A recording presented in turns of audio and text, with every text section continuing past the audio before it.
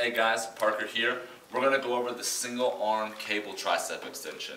So, as we do this, there's a couple things to point. We wanna work through full range of motion, we wanna take it slow, and it sounds silly, but you need to think about the muscle that works. With some of these smaller muscles that aren't big compound movements, literally thinking about the muscle and kind of flexing hard is going to help stimulate it the way we want to. So I'm going to bring that elbow in nice and tight. Once my elbow's here, it doesn't come up above. It stays close to my ribs. I'm simply going to push my hand down. I want to reach a full lockout. That elbow is straight. I'm squeezing. And as I come up, that elbow's here. Notice that I don't have a reverse grip. This can be, I mean, you can do it. It's hard on some people's elbow, um, and you're not going to be able to lift as much weight, that's for sure. This is a variation, but for ours, I want us to turn those knuckles over.